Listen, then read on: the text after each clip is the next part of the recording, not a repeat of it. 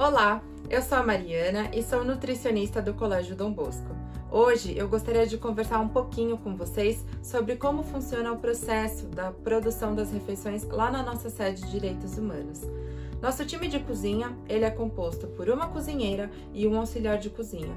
Esses colaboradores são devidamente qualificados e treinados ao longo do ano e passam pela minha supervisão.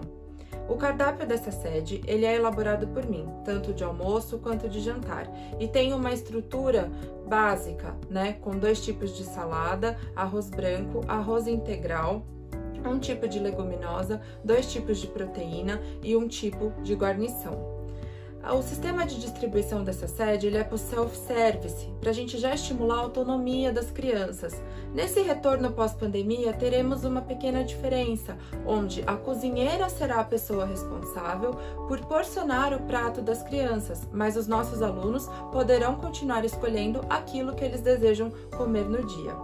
Pessoal, eu adoro lembrar a importância das boas práticas na manipulação das refeições e o Colégio Dom Bosco preza por isso e segue rigorosamente todas as leis de âmbito municipal, estadual e federal. O cardápio dessa sede, ele é baseado, né, claro, na aceitação dos nossos alunos, mas também pautado nas diretrizes da Sociedade Brasileira de Pediatria e no Guia Alimentar para a População Brasileira. Eu gosto de contar também que os nossos insumos perecíveis, como proteínas e hortifrutis, a gente tem um recebimento diário, ou seja, é preparado no mesmo dia para oferecer para o prato dos nossos alunos. Adorei conversar um pouquinho com vocês sobre este assunto. Fico à disposição para aquilo que precisarem. Um super beijo e até mais!